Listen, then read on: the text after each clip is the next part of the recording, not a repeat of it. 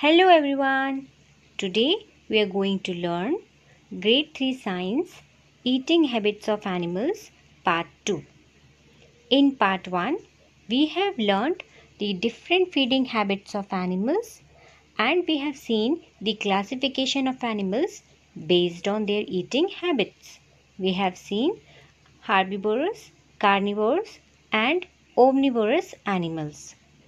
Today we are going to see food chain of animals and teeth of herbivores and carnivores. So let's get started. So children, आज हम सुनने वाले हैं एक कहानी story of अ जंगल एक जंगल में एक शेर था वह उस जंगल का राजा था और वो जिस भी एनिमल को खाना चाहे वह खा सकता था। इस तरीके से उसकी लाइफ बहुत ही खुशी खुशी चल रही थी। लेकिन एक दिन एक दिन उसने देखा कि बहुत दूर दूर तक कोई भी पेड़ नहीं है। सारे पेड़ सूख चुके हैं। उसे कोई भी पेड़ नज़र नहीं आ रहा था। फिर एक महीने बाद वह शेर मर गया। अब आप मुझे बताइए शेर किस टाइप का एनिमल है? हमने सीखा पार्ट वन में lion is a carnivorous animal right children तो lion is a flesh eating animal lion दूसरे एनिमल्स को खाता है। तो पेड़ों के मर जाने से, पेड़ों के सूख जाने से लायन किस किस तरीके से मर सकता है? यस चिल्ड्रन सो आज हम वही देखने वाले हैं कि लायन किस तरीके से पेड़ों पे डिपेंडेंट है। हम देखते हैं lion is a flesh eating animal lion दूसरे एनिमल्स को खाता है और दूसरे एनिमल्स प्लांट खाते हैं। इस तरीके से लायन भी इनडायरेक्टली प्लांट पे ही डिपेंडेंट है।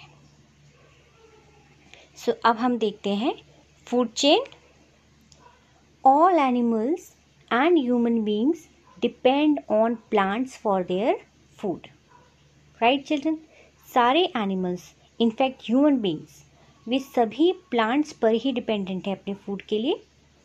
Plants are the ultimate source of food right children herbivores depend on plants directly जो एनिमल्स प्लांट ईटिंग है या फिर प्लांट प्रोडक्ट्स खाते हैं, वो डायरेक्टली प्लांट्स पे डिपेंड करते हैं। बट जो एनिमल्स दूसरे एनिमल्स को खाते हैं, जो एनिमल्स कार्निवोरस हैं फ्लैश ईटिंग एनिमल्स हैं, वे वे इनडायरेक्टली प्लांट्स पे डिपेंडेंट हैं। वे डियर खाएँगे और डियर प्लांट तो इस तरीके से हमारी एक फ़ूड चेन बन जाएगी। Now let see the food chain all food chain starts with plants so सारे के सारे फ़ूड चेन प्लांट से ही स्टार्ट होंगे राइट चिल्ड्रन यहाँ पे हम देख रहे हैं plant plant is eaten by deer and deer is eaten by a lion इस तरीके से हमारी फ़ूड चेन कंप्लीट होती है। दूसरी फ़ूड चेन में देखिए दिस इज़ वीट वीट मतलब प्लांट से ही मिला है हमें, ठीक है? So this wheat is eaten by a rat and this rat is eaten by a cat इस तरीके से हम डायरेक्टली और इनडायरेक्टली प्लांट्स पे ही डिपेंडेंट हैं।